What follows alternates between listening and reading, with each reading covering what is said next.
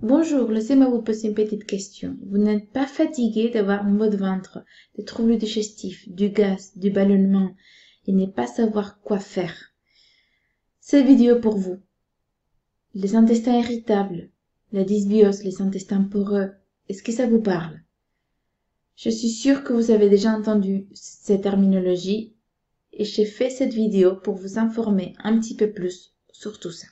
Je suis Fernandez Andruski Andrea, je suis médecin naturopathe australien et je tiens à cœur à mieux vous former car dans ma pratique, ça fait 15 ans que je travaille, je n'ai passé pas une journée où je n'ai pas vu une personne qui ne présentait pas des perturbations gastro-intestinales, qu'il les sache ou qu'il les sache pas. Pourquoi je dis ça?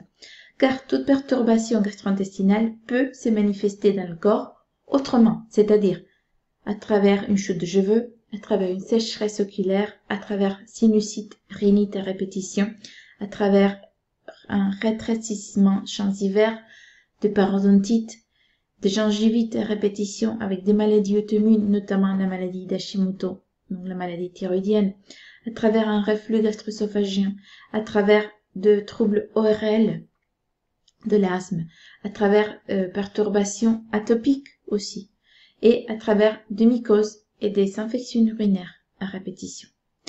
Les troubles digestifs peuvent se manifester aussi à travers des douleurs, des douleurs au cervical, des douleurs euh, dans la région lombaire du corps.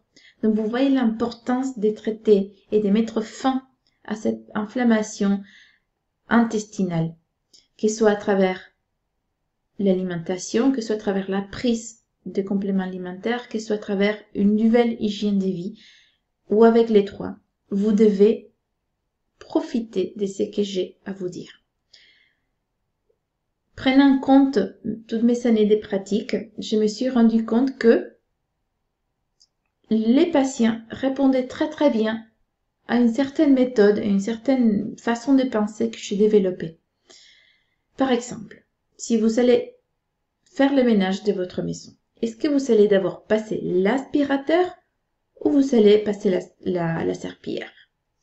Est-ce que vous allez d'abord laver par terre et puis passer l'aspirateur? Traitement intestinaux courant bah, proposé par plusieurs professionnels et même proposé par les médias. Ce que je vois, c'est qu'ils passent le coup de serpillière, même pas l'aspirateur. Vous avez sûrement essayé des probiotiques vous avez sûrement essayé l'aloe vera, le curcuma A et la nouvelle, euh, la nouveauté, c'est les resveratrol pour les intestins. Euh, évidemment, tout ça n'a pas donné de fruits. Car vous avez passé le coup de serpillère et vous avez pas aspiré. D'abord. Vous comprenez ce que je vous dis? Non. D'abord, faut faire les grands ménages. Hein, prenons, moi j'adore travailler avec des analogies. Donc, je reviens à l'analogie de la, du, du, du, ménage de la part de la maison. Non. Si vous bien balayer, si vous, balayez bien votre maison, peut-être il n'y aura pas besoin de passer un coup de serpillère. Ou il n'y aura pas autant. Plus vous balayez, moins il y a besoin de coups de serpillère derrière. Cette méthode a une logique pour le corps. Donc, votre corps va vous remercier du moment que vous la mettez en place. D'abord, passez l'aspirateur, balayez bien, bien, bien, bien, et puis voyons qu'est-ce que cela donne. Parce qu'avec une bonne alimentation, cela va être le coup de serpillère. Donc, pas d'argile, pas d'aloe vera, pas de curcuma, pas de resveratrol, surtout pas de probiotiques. Donc, ma méthode est unique. Suis passé 200 en Italie avant de venir en France depuis l'Australie avec un médecin italien qui m'a appris énormément de choses au niveau des intolérances alimentaires. Donc, je suis sûre aussi, en ce qui concerne les intolérances alimentaires, que vous avez déjà essayé sans gluten, que vous avez déjà essayé sans lactose. Mais la pauvre molécule de lactose, c'est un sucre. Déjà, chimiquement, il ne peut pas posséder, il ne peut pas créer des intolérances alimentaires ni des allergies. La pauvre molécule de, lactose, là, elle, y est pour rien, là.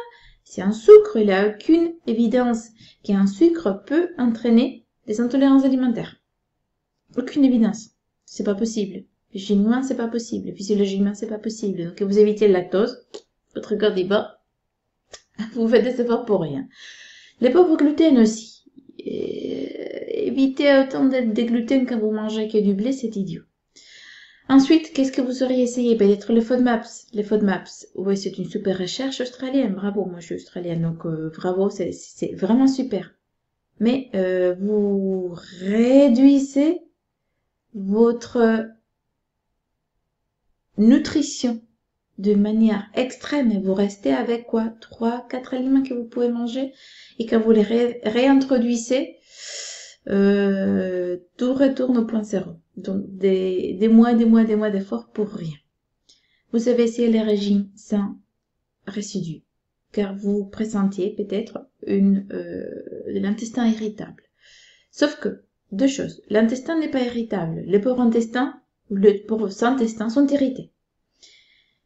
Et ensuite, les régimes sans résidus n'y soignez pas. Ça soulage. Et c'est sûr que ça soulage. Hein.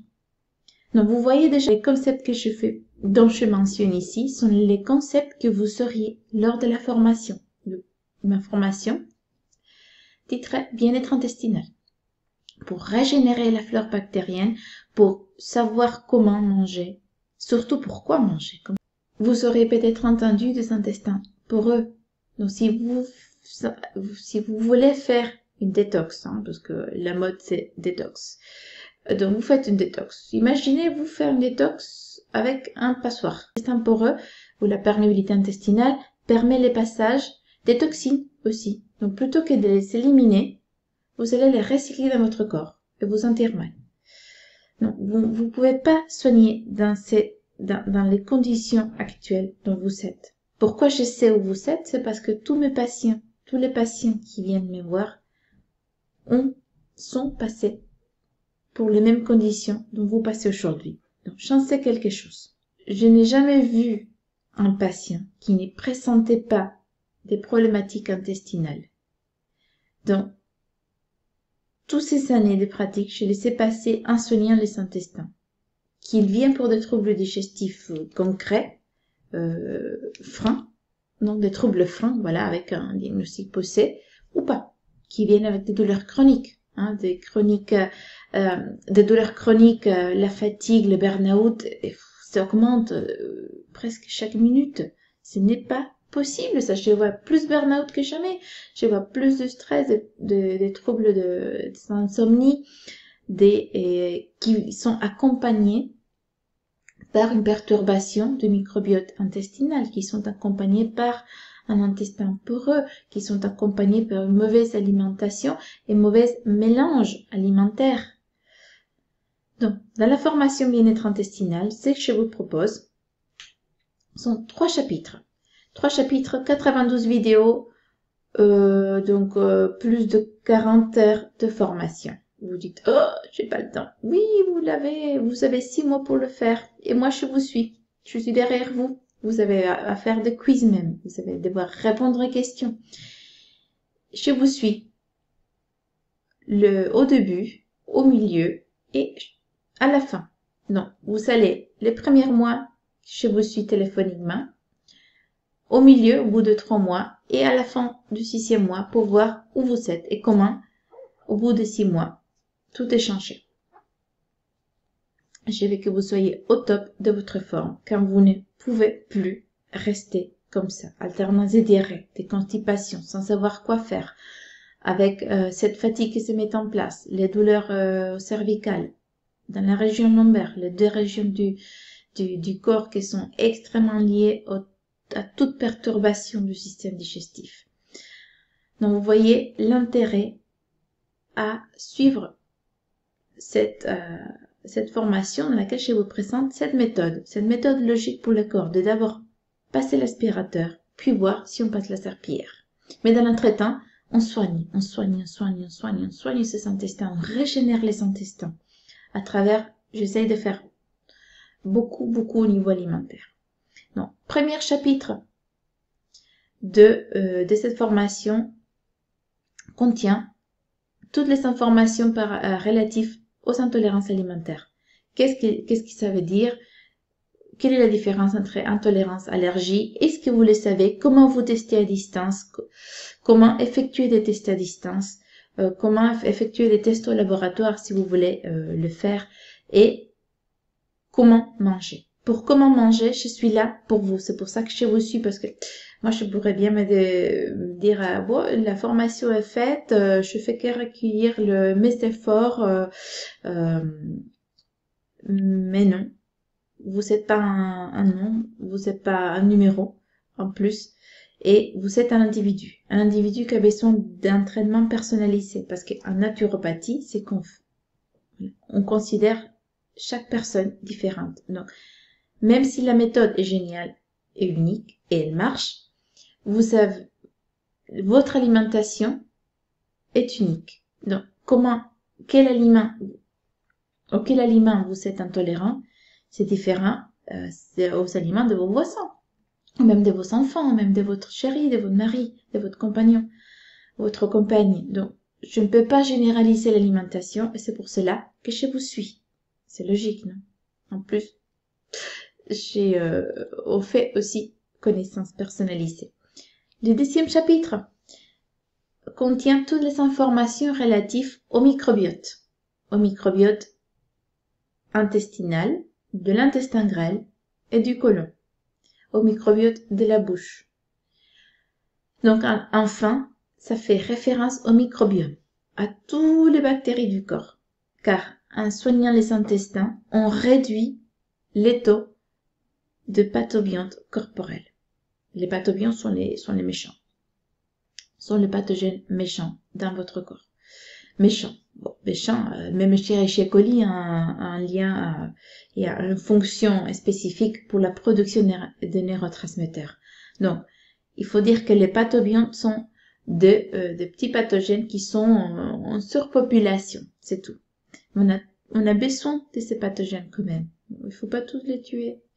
Donc, je vous explique pourquoi, comment et, quoi faire par rapport à ces microbiotes et enfin à ces microbiomes.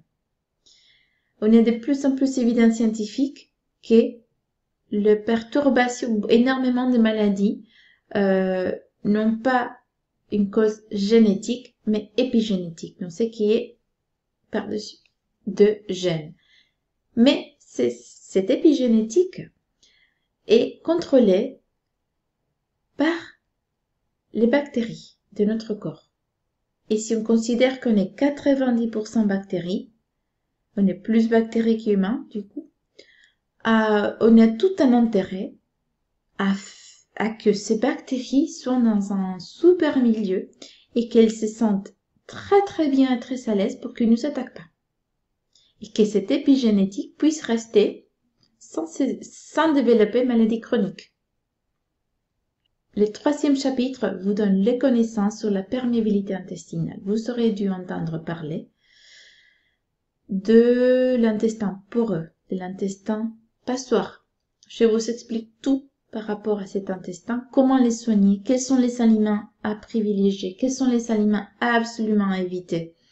Verrez est vraiment un, pro de troubles digestifs. Pas que par votre expérience, mais aussi parce que vous sauriez aider vos proches à la suite de ces formations, car vous saurez savoir quoi faire vous sauriez quoi faire.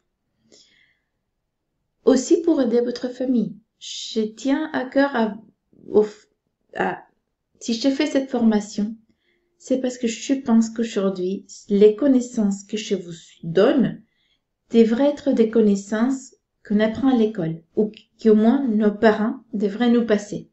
Ces connaissances étaient euh, autrefois euh, passé par les, euh, par les grands-parents. J'ai appris, j'ai appris pas mal des, des pratiques de nettoyage intestinal qui mes patients m'ont raconté que la grand-mère faisait ou que les arrière-grand-mères faisaient. Et c'est génial, ça marche. Donc je, je vous les passe aussi. Je vous les passe que c'est, c'est, c'est, sont des, ça fait, ça change, ça donne les petits en plus que euh, ça donne les petites plus à cette méthode, à cette formation qu'il euh, n'y a pas ailleurs. Hein. Quand j'ai fait cette formation au jour que j'ai la faite, euh, j'ai pas pas de cette vidéo, je parle de la formation. Hein. J'ai traîné un petit peu euh, à, la, à la présenter, mais je l'ai faite en 2018.